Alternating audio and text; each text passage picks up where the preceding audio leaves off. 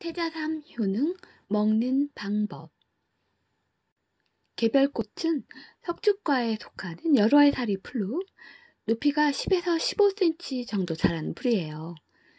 뿌리는 인삼의 어린 뿌리를 닮았고 생양명은 태자삼.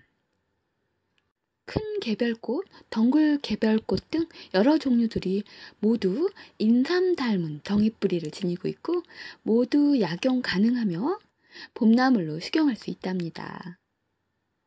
보라색의 점 같은 꽃수술이 퍼져 있는 모양이 마치 흰 꽃잎에 보라 전무늬가 있는 것처럼 예쁘네요. 산길 걷다 보면 맑은 산길 부엽토에 수북히 올라와 물이 지어 모여있는 개별꽃들을 보지요. 효능을 살펴보면 개별꽃 뿌리는 맛은 달고 약간 쓰며 성질은 따뜻하다고 하고요. 폐와 위를 튼튼하게 하고 진액을 만들어주는 효능이 있다고 합니다.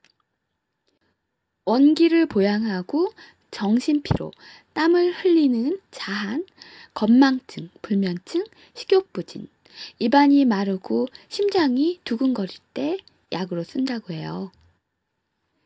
가을에 뿌리를 캐서 하루 6에서 15g을 물로 달여 먹습니다.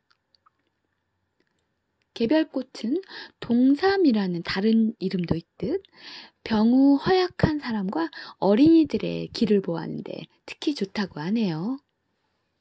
인삼과 비슷한 효능을 가지면서 부작용이 없다고 합니다. 맛이 순하고 부드럽기 때문에 봄철에 전초를 캐어 샐러드로 또는 나물로 무쳐 먹을 수 있어요. 뿌리를 밥할 때 넣어 먹거나 술로 담가 먹고 또 말려서 차처럼 달여 마실 수 있답니다.